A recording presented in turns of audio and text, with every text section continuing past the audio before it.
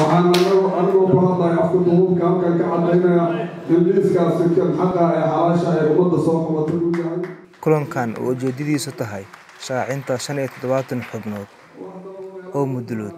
ku matali doona horumarinta deegaanadooda iyaga oo ah golaha horumarinta deegaanada mudulood ayaa qaar ka mid ah duubabka dhaqanka ee soo xaadiray kulankan ay ka jeediyeen kelimado dhiirigelin ah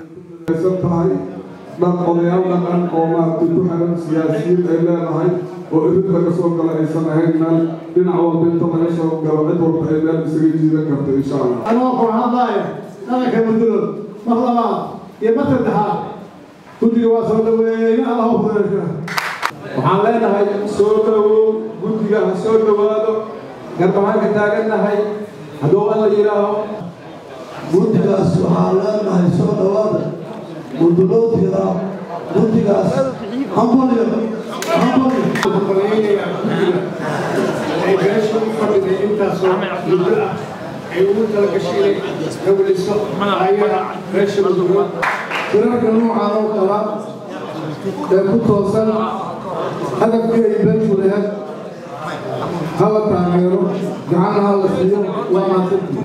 aad iyo aad aad u mahadsantihiin waxaan soo dhowaynaynaa guddiga qiimaha badan waxaan soo dhowaynaynaa isumaadka muduloodo sharafka badan. Waxaan soo dhowaynaynaa guddoomiyaha guddiga nin firfircoon oo qiimo badan ah cabdulqaadir xasan muudey ayaa kulanka ugu dhawaaqay warmurtiyeedkan oo ujeedadiisu tahay shaacinta golahan. Sida soo socota. Kow afgal cismaan labaatan iyo toddoba xubnood ciise mudulood sagaal xubnood moogleyn sagaal xubnood wacdaan cismaan toddoba xubnood hilibi saddex xubnood maxamed mudulood hal xubin waxweyteen hal xubin haweenka labiyo toban xubnood ganacsatada saddex xubnood xurumada saddex xubnood totalka guud ee tirada wuxuu noqonayaa toddobaatan iyo shan xubnood sidaas darteed sidaas darteed duubabka beelweynta mudulood markay arkeen habaca iyo dib u muuqda deegaanada mudulood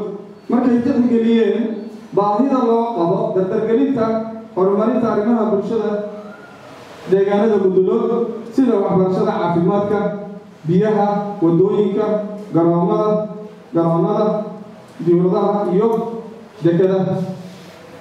Markay garowsadeen meelmarinta qodobadii warmurtiyadkii shirweynihii wadatashiga beelweynta mudulood saddexdii bishii ilaa bishii lixdeedii agost laba kun iyo labaatan go'aankii todobiyo tobanka agost laba kun iyo labaatan markay la tashadeen qaybaha kala duwan ee beelweynta mudulood markay aqbaleen soo jeedinta madaxda beelaha mudulood waxay magacaabeen xubnaha golaha horumarinta danaha deegaanada mudulood cabdulaahi maxamed sheekh oo ah. Gudoomiye ku-xigeenka iyo muxiidiin xasan faarax oo ah. Gudoomiyaha golaha ayaa ballanqaadyo jeediyey shirkan waxaa noo furan small window daaqad yar laakiin waxaan filaya mar haddii guddigaas uu shaqada bilaabo in la arki doono iftiinka uu soo geliya mudulood dal iyo dibad waxaan isku xidhi doonaa muddo kooban. Waxqabadkeennana waxaad arki doontaa sanadka ugu horreeya insha allah. Tacaala ballamee ay qaadeen mudulood isu qaadeen inay hirgalaan oo caawa aan u fadhino dhammaystirkooda waxaan rabaa in hortina ka ballan qaadno waxaan daa wax kalena ka waayo ma aha doono kuwa isku kildara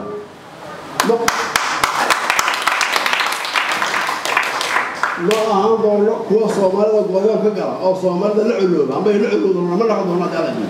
ra'iisul wasaarihii hore ee dalka cali maxamed geedi oo qayb ka ah kulankan ayaa isna bogaadiyey sida aad maqlayseen warmurteedka halka laga akhriyey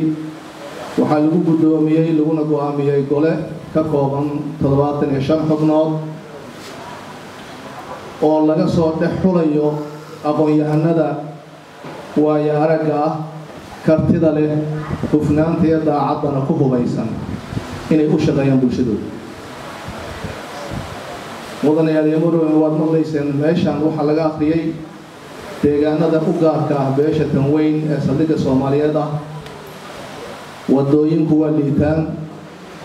waxbarashada iyo caafimaadku waa sidoo kale ilaa garoomo diyaaradeed iyo dekado ayaa laga hadlaya ceelal iyo. Waxay ila tahay in beeshu u soo jeesatay inay danaheeda ka shaqayso.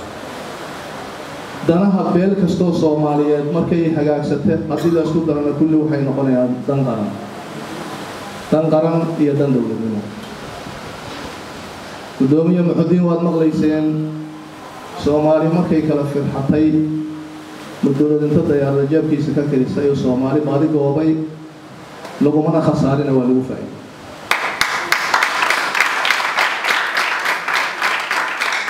muddolood wuxuu maskaxdiisa iyo maalkiisa iyo murugiisa ku bixiyey